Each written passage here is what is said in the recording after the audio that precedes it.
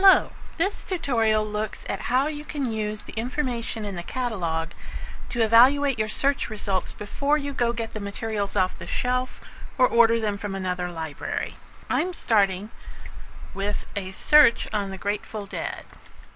By entering Grateful Dead as a keyword relevant search, I have retrieved a list of over 2,000 results. Not all of these results will be good. The system tries to put the results it thinks are best at the top of the list, and as you go down the list, they are less and less relevant. Each one of these results corresponds to a book or a CD or DVD or internet website. We call these results records, as in computer records. Let's look at some of the records more closely. For each item, the catalog shows you relevancy information, the title of the book, the author, the year the book was published, and some information about the book's location, including its call number. And of course, in this case, it's not a book, it's a sound recording, but all of that is still the same. You will need the call number to find the item on the shelf. That's how our, books and CDs are organized. Once you've found a call number, the library staff can explain how to use the call number to find the material in the library or how to get it from another library, in this case, North Idaho College. Before you decide whether the book is right for you, you should perform a quick evaluation. Besides the title, other information to use in evaluating results are the number of relevancy bars, the date published, and the location. For relevancy bars, the items that the software thinks are most relevant to your search should appear at the top of the list. In the second column, you will see a number of bars. Items with five relevancy bars are the closest fit to your search terms. As you go down the list, you will see items with fewer relevancy bars. These fit your search statement less well. Date published. Some subjects require current information, and for those recently published items are best. In this case, it looks like this music was originally released in 1972 and then re-released in 1989. Location. We have materials in the catalog from North Idaho College, University of Idaho, and of course, LCSC. Some books found in the University of Idaho libraries were purchased for use by graduate students and faculty. They can be hard for undergraduates and the general public to read because they use vocabulary and concepts that are directed at experts in the field. If the book is at the University of Idaho and the title uses words you don't understand, that book may not be very appropriate to use in undergraduate research. On the other hand, North Idaho College is a two-year college.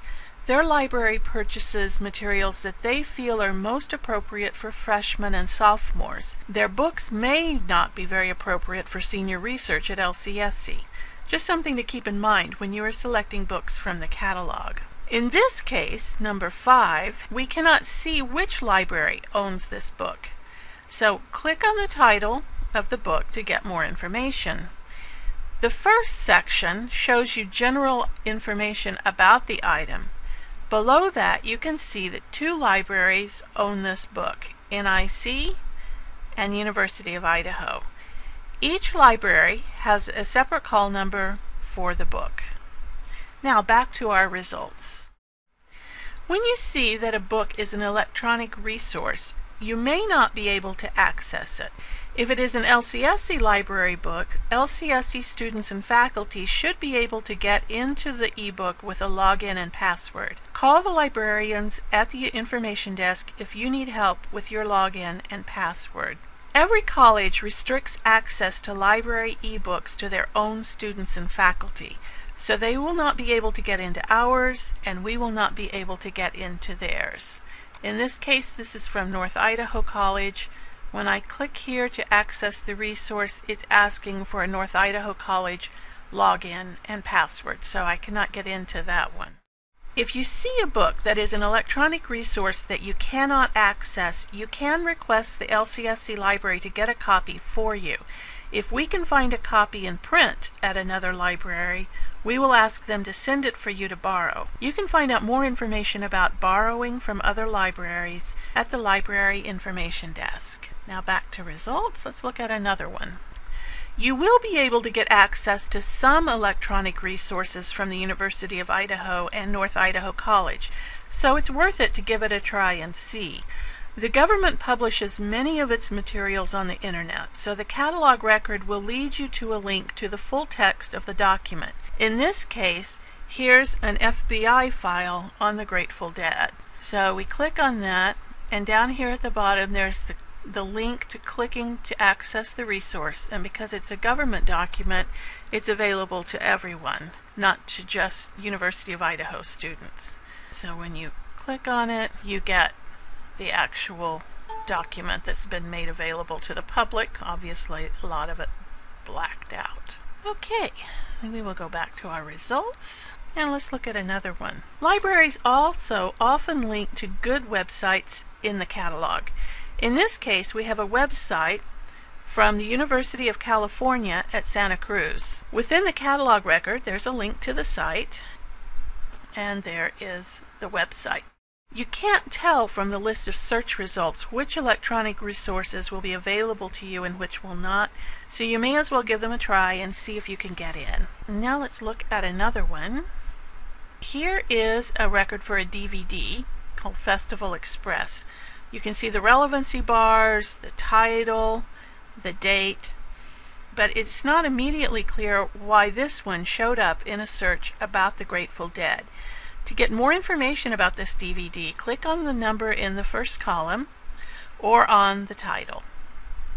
For DVDs, it helps to go to the detailed record. And here in the notes field, you can see a little bit of what the DVD is about. And that is typical for DVDs in the catalog. So if you want to find out what the DVD is about, go to the detailed record. Number 23. This is a catalog entry for a book. It doesn't mention the Grateful Dead in the title. We'll click on it to get more information. So we're looking at the brief record. We still don't see anything about the Grateful Dead. So we'll go to the detailed record. Still no mention of the Grateful Dead. So let's look at the table of contents. And from here, we can see that there's a chapter on the Grateful Dead by Parke Puterbaugh. It can be really helpful to look at the table of contents for books that are not immediately obvious why they showed up on the list. If you can find one chapter on your topic, that's often even better than finding a whole book. Condensing the information from a whole book into a five-page paper can be a challenge. Sometimes one chapter gives you just the amount of information you can easily use. Not all of the records in the catalog provide the table of contents, but when you can find it, it can be really helpful.